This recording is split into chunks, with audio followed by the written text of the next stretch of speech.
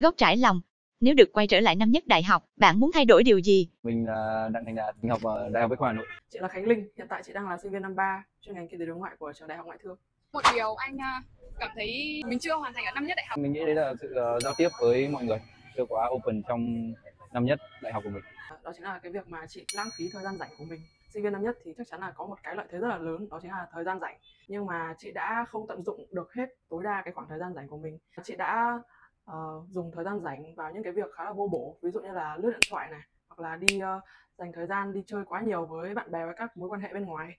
Nếu mà anh quay trở lại năm nhất đại học thì anh có muốn thay đổi điều gì Ừm, Mình muốn thay đổi là cho anh câu lạc bộ này. ừ, sớm hơn Ờ, cảm ơn. Only here.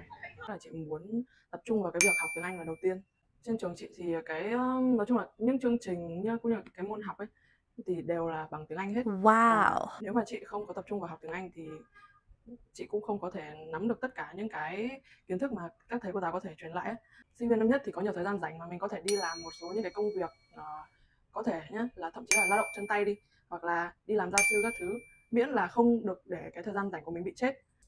Follow chúng mình để biết thêm nhiều lời khuyên hữu ích nhé.